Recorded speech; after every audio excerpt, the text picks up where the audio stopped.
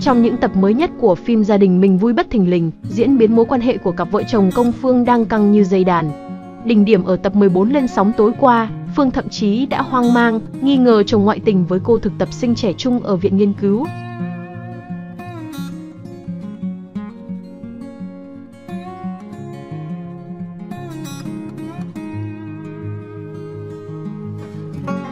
Dù Phương không nói ra, nhưng trong lòng cô hẳn đã dấy lên những nghi vấn. Bằng trực giác của người phụ nữ, có điều gì đó khiến Phương không yên tâm về mối quan hệ này. Bằng chứng là khi thấy Mai nhiều lần điện thoại cho công, rồi lại thấy công nửa đêm vẫn ra khỏi nhà, Phương đã tìm cách cản bước chồng nhưng không được.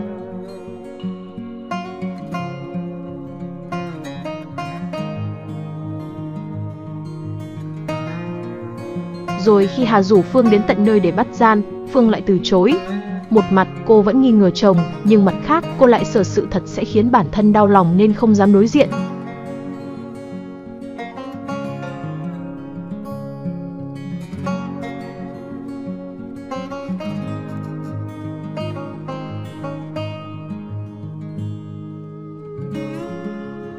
Liệu mối quan hệ giữa công phương sẽ đi đâu về đâu sau sóng gió?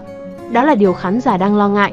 Nhưng có lẽ, người xem sẽ bớt lo lắng phần nào bởi trong đoạn credit của bộ phim đã hé lộ nhiều hình ảnh ngọt ngào của công phương ở giai đoạn sau này.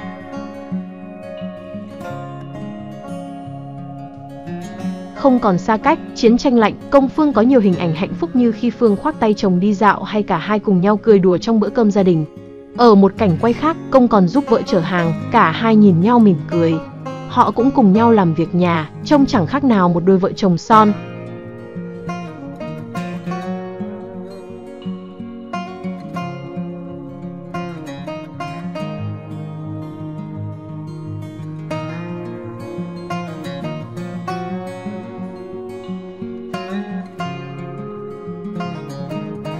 Với tinh thần của một bộ phim tràn ngập những điều tích cực, vui vẻ, tin rằng tổ biên kịch chỉ thêm mắm dặm muối một vài gia vị cho bộ phim thêm đậm đà, chứ không có ý định biến tác phẩm này thành một chuỗi drama ngoại tình, đánh ghen kinh điển.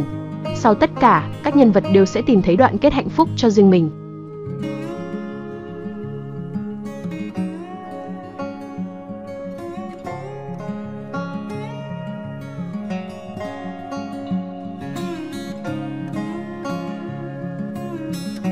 Mời các bạn đón xem gia đình mình vui bất thình lình tiếp tục lên sóng VTV3 tối thứ năm, 6 hàng tuần.